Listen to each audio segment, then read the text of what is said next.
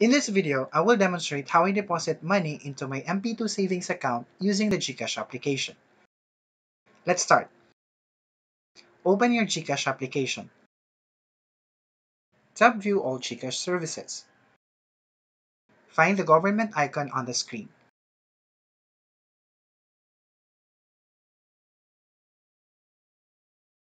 On the next page, select the Pag-ibig option.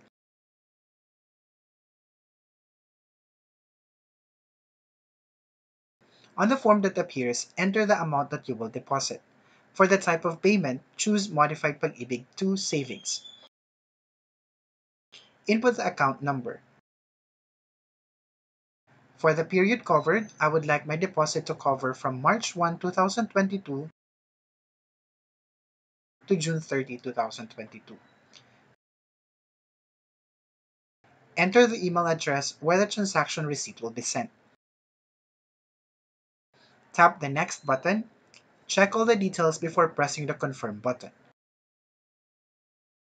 After pressing the Confirm button, a confirmation text message and email will be received. The receipt will also appear on the screen, which we can download. Take note that every deposit transaction has a service fee of 5 pesos. To verify if the deposit has been successful, check your virtual Pag-ibig account within 3 business days. If this video is helpful, please press the like button and leave a comment. Please consider subscribing to my channel too. Thank you!